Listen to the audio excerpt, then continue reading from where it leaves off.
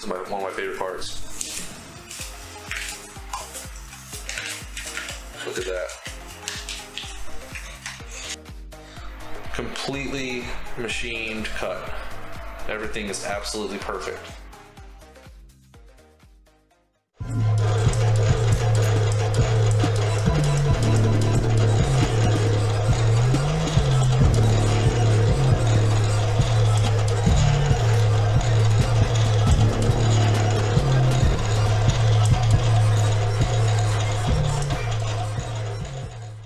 Hi everyone, welcome to GameQraft, the YouTube channel where we take video game characters and bring them to life using an art form known as papercraft. I'm Mike, the actual papercraft artist.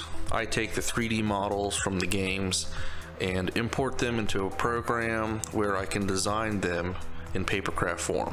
Afterwards, I print them out, laminate them, and I put them through a cutting process, which in today's video, we'll be using an automated cutting machine to assist with that papercraft process. The Silhouette Cameo 4. This machine is brand new. It just recently came out. It replaced the Silhouette Cameo 3, which is a previous version. I did use the Silhouette Cameo 3 previously, and I did really like it. But when I heard that there was a new version coming out, I just had to stay up to date with the hardware and get this one instead. I'm really excited to put it to use, especially with some of the projects that I've been working on recently that are very difficult. This greatly reduces the amount of time that you actually have to cut the paper. Papercraft requires it to be extremely precise and that is very difficult when you're cutting it just with scissors. Today we'll be doing a step-by-step -step process and showing how you can use the Silhouette Cameo 4 to assist with papercraft. The Cameo 4 has a lot of features and you can use it for a lot of different things. I'm specifically only using it for papercraft and assisting with the models that I make. Uh, but it does have a lot of other features. You can cut plenty of other things. You can make decals, you can cut vinyls, uh, there's a lot of things that you can do with it. I, I, might try to tinker around with that a little bit later, but uh, the main reason I got this machine is to help me with the papercraft models that I make. The software that I use to design the papercraft models is called Pepakura Designer. And the software that I use to convert the files into a format that the silhouette can read is Pepakura Viewer for Cameo. Alright, so I wanted to do a step-by-step -step process here. Once you've actually designed the model in the Pepakura Designer software, uh, you would load it into the Pepakura Viewer for Silhouette Cameo. And there's a button right here which says registration marks. This is what's going to allow the Silhouette Cameo to read the sheets of paper. Once you have this set up properly, you'll be able to print it. I went ahead and sent the item to the printer let me go ahead and get that now. All right, so here's my sheet. As you can see here, here's the registration mark that the machine is going to be reading. Pepakura Designer has a help option that says how to cut with Silhouette Cameo. I'm gonna go ahead and bring that up here. All right, so how to cut with Pepakura Viewer. It basically tells you that the DXF file, which is the file that will export out of the Pepakura Viewer, can be imported into Silhouette Studios. And it shows you how to set the registration marks. Uh, so if you actually have the software, go to this help page if you have any questions on how to get actually set up to, to, to uh, get it to import properly. I've already done all these steps. So let's go ahead and get into the actual software from Silhouette Studios. So this is the software. I've already exported the DXF file. I'm going to go ahead and load it in here. All right, so here it is. All right, so right here, you'll see where it says open the setup panel. This is where you would set everything up to make sure that you have all of your settings correctly. You would go to registration marks right here. I'm going to turn the registration mark on. and you can see it's now put the registration mark here.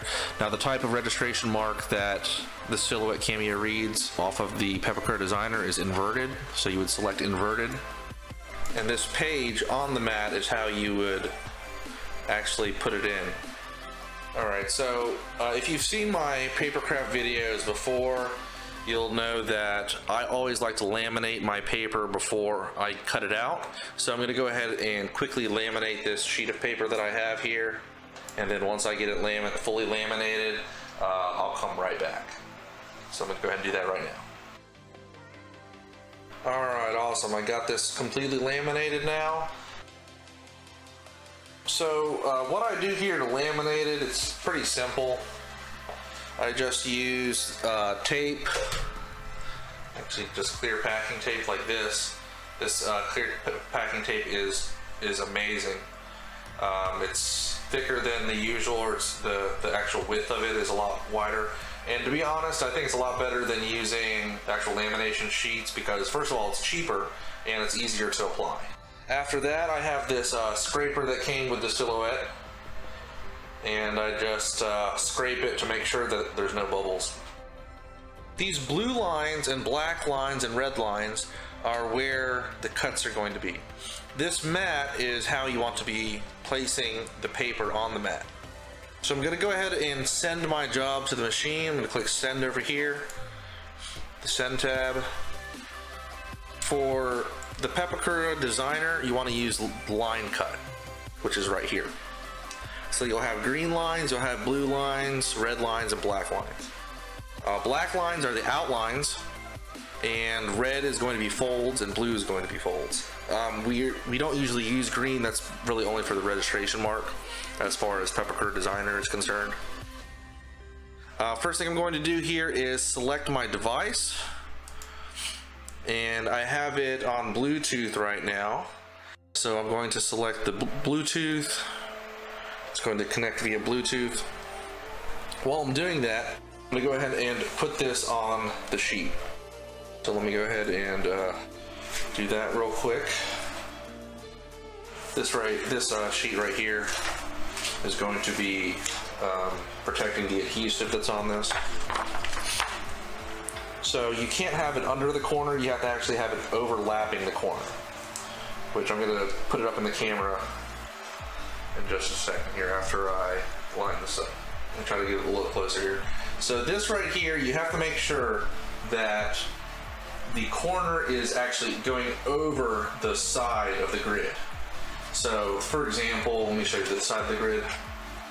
So you can see how there's an edge on that. You have to make sure that the corner of the paper is actually going above that edge. If it's going under the edge or it's within this inside of the edge, the registration mark will not be read. All right, so let me go ahead and insert this into the machine. Everything is connected. I have to do the job details afterwards before I actually send it. So there's a button right here which is allowing you to input the sheet. All right. Blue lines are, are scoring because it's only a fold. We're not actually cutting it. I actually have some presets here. I'm going to add uh, the presets cutting options and right here you can see it says score um, don't actually cut it it'll just put an indentation into it that way I can fold it easier for the red lines I'm going to select scoring as well with my presets the preset I have here is one. This is cardstock, by the way. Cardstock is, I find that one is the best type of score. The force, I'm actually going to turn this up a little bit. I found that using about seven or eight, let's, let's, let's use eight. And this, we're going to put the force up to eight. All right, that looks good. All right, so the black line here is the actual border, the outside border so we're, we are going to select a cut for this. Uh, I find with cardstock, it's best to do more than one pass on it, just to make sure that it cuts all the way through. So I'm actually gonna put three passes on it. You know, I'm gonna do four passes actually. That way, I just wanna be make sure that it cuts all the way through. and um, let me crank up the speed a little bit. Now the Cameo 3 can only do speed of 10. This has the ability to do a speed of 30. So I'm gonna crank it up all the way and just, just see how quickly it can get through. The scoring I put down to 25. I don't wanna do that too fast. Yeah, we'll, we'll just leave it the way it is. Okay, so here's my settings. I'm just gonna go over this one more time. The blue one is scoring, the red one is scoring, the black one is cutting with a uh, indentation of blade size of eight, force is 25, and I'm doing four passes on it. So if we're ready, I'm gonna go ahead and send it to the machine. I'm gonna click the send button right here. It's reading the registration mark. It's also reading the corner registration marks.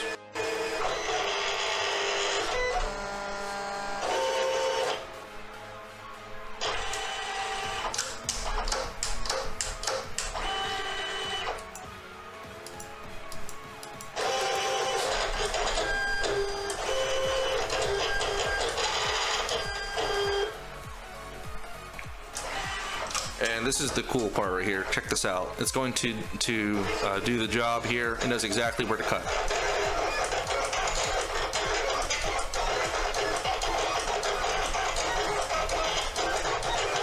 And this might take a minute, so we'll just do a little commentary here while we're waiting. Let me try to move the microphone away from the, uh, the actual device head that it is kind of kind of noisy. Now it is, however, a little bit more quiet than the Silhouette Cameo number three, which is the previous version. I used the Cameo 3 a couple times uh, for a couple jobs, and I thought it was awesome. And um, I decided that since the Cameo 4 was coming out, that I would get this one instead.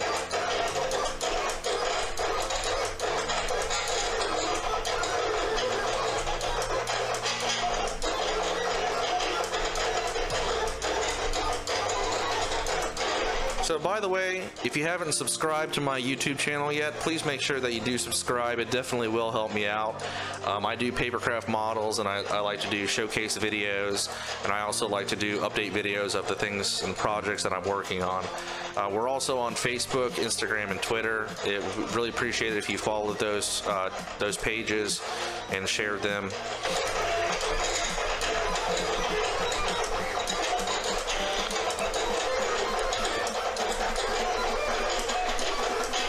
If you want to see more of my artwork, I actually do have a uh, DeviantArt page as well. Just look up GameQraft there.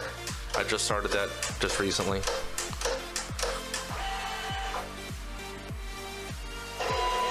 Alright, so it looks like that it's actually going into the cutting now with a speed of 30.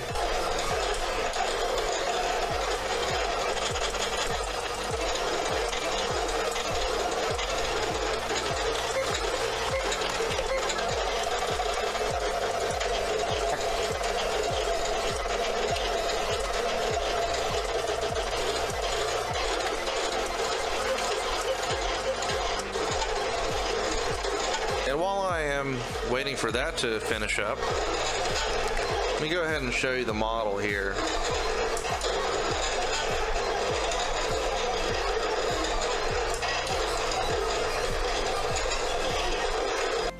This thing is a lot more complicated than the other models that I've worked on previously. It took me a long time to get the texture just just right too for the um, for the ink that I have in my printer. It kept printing out pretty dark, so I had to lighten it up quite a bit. After I was able to lighten it up and change the contrast on it, um, the print came out really, really good. It, it came out very, very similar to how the game looks. So I think that I perfected it. This is going to take a long time to do. Uh, I have a total of uh, eight pages. So I, this is going to be one of the pages here that I'm working on. This is taking quite a bit longer uh, because I did four passes on it, but that's just going to ensure the quality of it.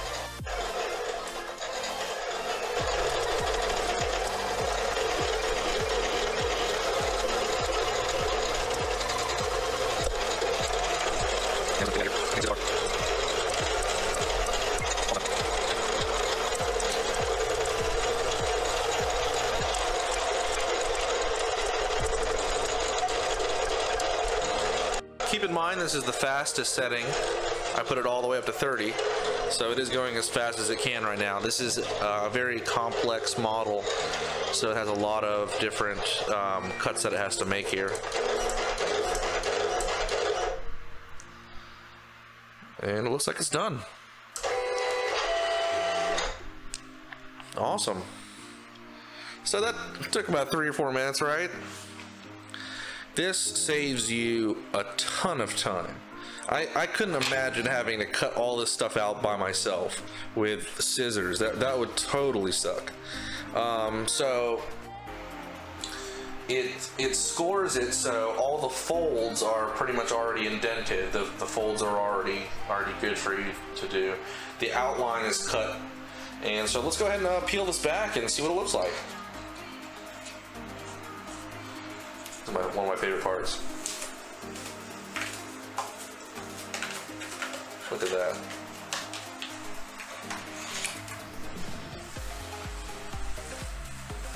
And had I not done four passes, there is a possibility that it wouldn't have cut all the way through for some of that stuff. But look at that, everything is, it's like a, it completely machined cut. Everything is absolutely perfect. Well, so that's trash. And all we have are the pieces left. Let's go ahead and take a look at the development on Pepakura real quick.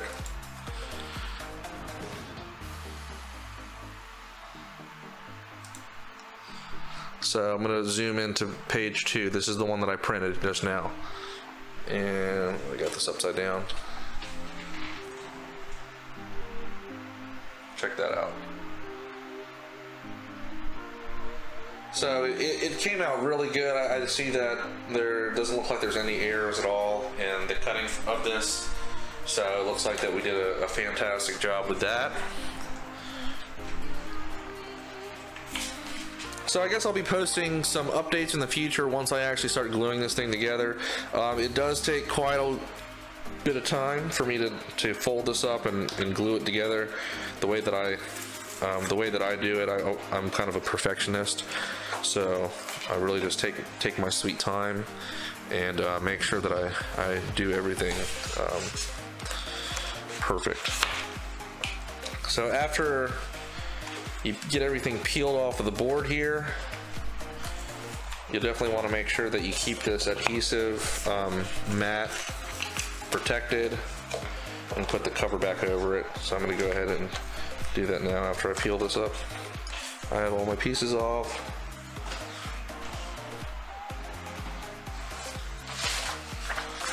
Go ahead and lay this back over.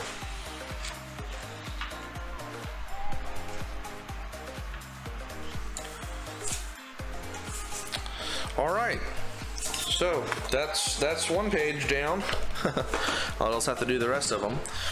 So if you found this video helpful, please give it a, a like, thumbs up. If you're looking for the Cameo 4 and you're considering buying one for Papercraft, I would highly recommend this one. Now the Silhouette Cameo 3 is significantly less, but it doesn't have uh, as many features. I really wanted the most up-to-date version. I like to stay up to date with, with stuff, so I wanted to make sure that I got the current version. Hope this video helps you out if you're thinking about getting this or if you have questions on how to how to get this to work with your Pepakura viewer. Feel free to shoot me a question. Just keep in mind that I'm not an expert on the Cameo. I, I, just happen to know how to get this stuff to work. Leave a comment in the YouTube video below if you want to see more models or tell me which models that you want me to make next. I appreciate everyone stopping by and visiting the channel. Thanks again for watching GameQrafts. Help us bring games to life.